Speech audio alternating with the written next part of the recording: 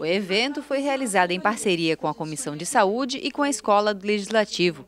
O objetivo era debater a situação da enfermagem obstétrica no Estado e o panorama atual das políticas públicas voltadas à saúde da mulher. Durante os dois dias do encontro, foram realizadas várias palestras e oficinas, abordando temas como reanimação neonatal e parto domiciliar planejado. Os participantes e organizadores avaliaram positivamente o evento. O evento ele superou as expectativas, né? tanto em número de participantes, quanto também na qualidade das apresentações, das conferências.